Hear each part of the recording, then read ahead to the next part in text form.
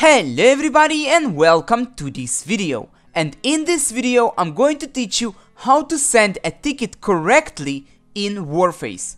I remember I did one video about how to send a ticket in Warface, but it's 4 years old and it was all in Crytek times. Now we have a different publisher to the game, which is My.Games, and the way to send a ticket is different as well. But why do I create this video? Sending tickets should be simple, right? So the answer is yes. But the problem is, not a lot of people actually send the tickets to Warface Team.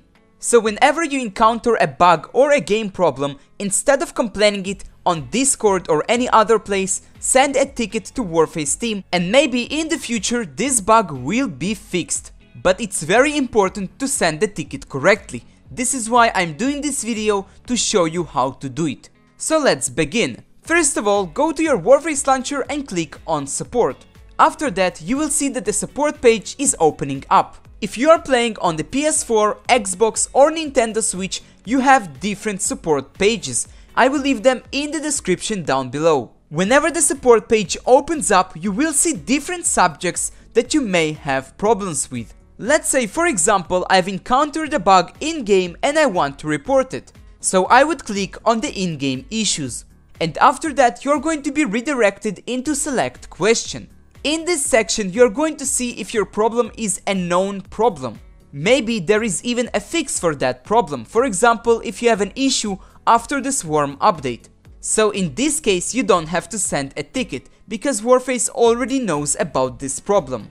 So let's say I want to report a bug which is not known problem. So I would click on bug reports and after that Warface will have a small guide for me how to take a screenshot in-game or how to record a video. The more detailed your ticket is, the better it is. Warface can identify the problem and what caused it.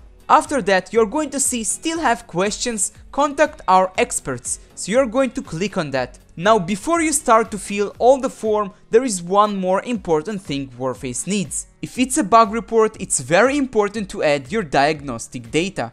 That way Warface can know what kind of internet you are using, what hardware you have on your computer and a lot of more things that will help Warface discover what caused the problem to happen. So how do you get and collect your diagnostic data? First of all, go to your Warface launcher.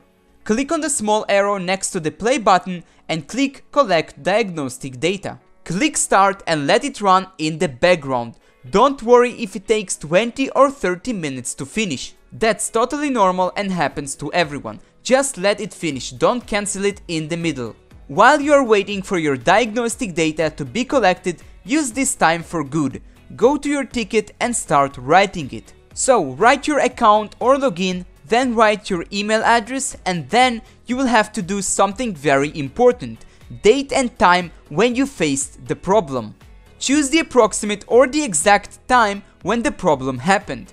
Whenever you're going to add your diagnostic data to the ticket, Warface is going to check that exact time and date and they will see what caused the problem to happen. After that, make sure to write your in-game nickname, the server you play on, and after that you will have to write the name of the problem that you have. Don't describe the problem, just summarize it. For example, Heavy Gunner disappeared in PvE mission.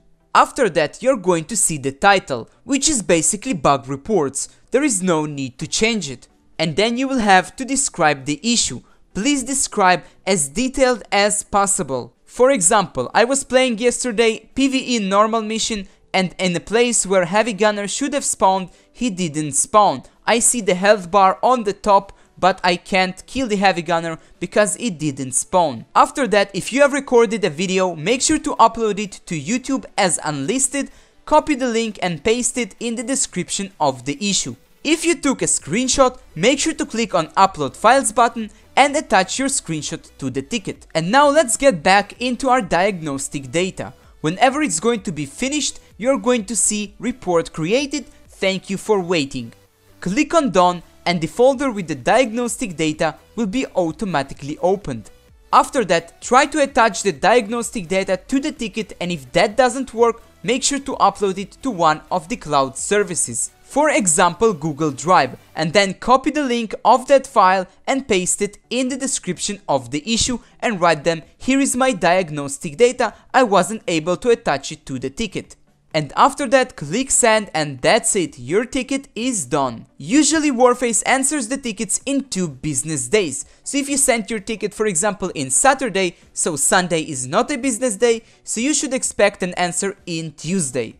It's very important not to send Warface another ticket for the same issue again before they answered on the previous ticket. This will just make the ticket go in the back of the line again.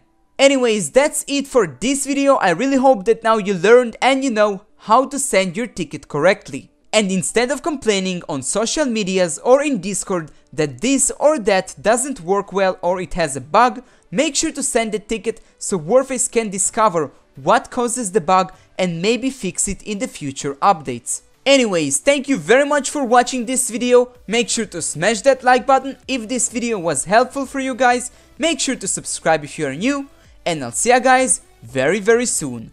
Thank you and bye bye.